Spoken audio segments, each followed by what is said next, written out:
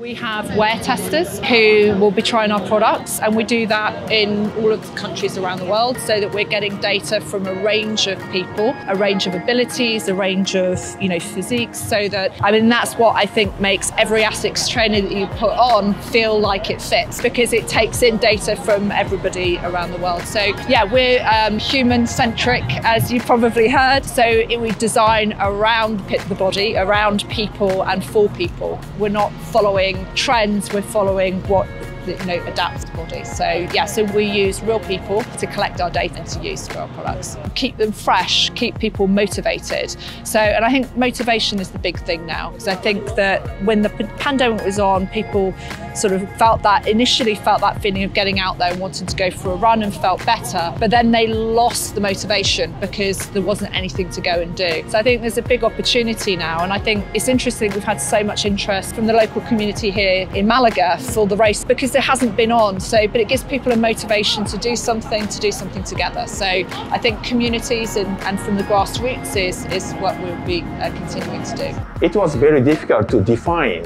the cadence type or stride type.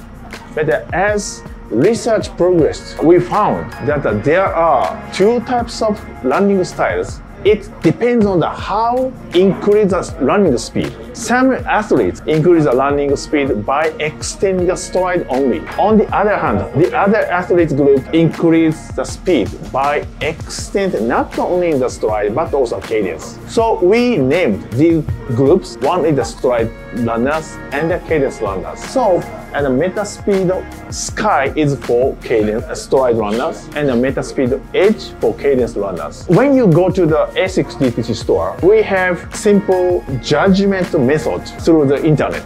So you can input the cadence number, you understand your cadence style or stride size. Our METASPEED is based on the science. Our strong point is that we designed the two shoes for each runner's style. This is our strong type. Basically, what we determined is what we saw is that when someone was running for training, their stride pattern isn't terribly different. But some runners, when they start to run, their stride pattern changes. And so they start to step longer and they start to take more strides. That's how they generate power. That's how they generate speed. But there's some runners that when they generate speed, they change their cadence. And so when we studied this insight, we saw it was very clear that there are two different runners. What we have is we have a lab actually, an ability to help you understand which runner you are. But for the runner at home, a good way to look at it would be to look at your cadence, your cadence counter like if you have a GPS app, you can look and see your stride length and your cadence as it changes as you go really fast. And you can measure it when you go very fast, like maybe for some, if they can handle 3K pace per meter, that would give them a good benchmark to understand the difference. You should first look at what type of runner am I?